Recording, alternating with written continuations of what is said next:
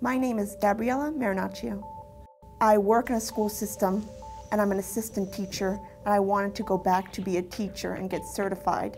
I went to schools where I was a number, just an ID number, and I came here and I was an individual.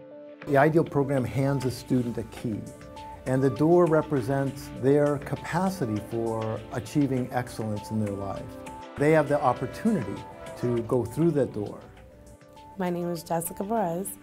It was a, a dream that I wanted to fulfill since I was younger and I was able to complete it when I was in, in my early years when I first got out of high school. So then I decided that that was something that I wanted to complete in my life, that I started and I wasn't able to finish. The IDEAL program offers degrees in psychology, human services, general studies, and business administration.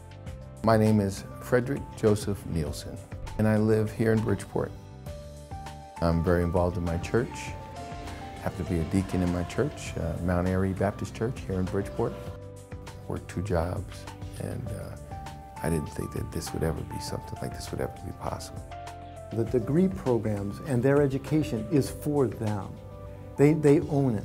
We offer classes in Waterbury, Stamford, and Bridgeport. My wife, I love her to death. She's always told me you can do anything that you want to do. So she's there to help me. And not only that, my children support me too. I want to be a teacher. I want to tell children that they can go to college and they can graduate from college.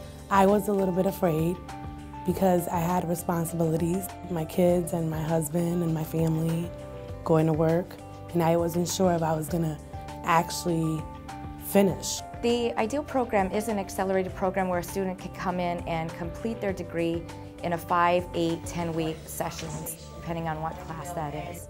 So instead of the four year, it could be completed in two and a half, three years. Teachers are understanding. They kind of bring reality into the class. Adult students want to know that they're in the classroom with other adult students that are experiencing the same thing. And also that the faculty are also working adults in the field in which they're teaching. I have completed a college education due to the fact that IDEAL offered me a wonderful opportunity to be able to come to school one night a week.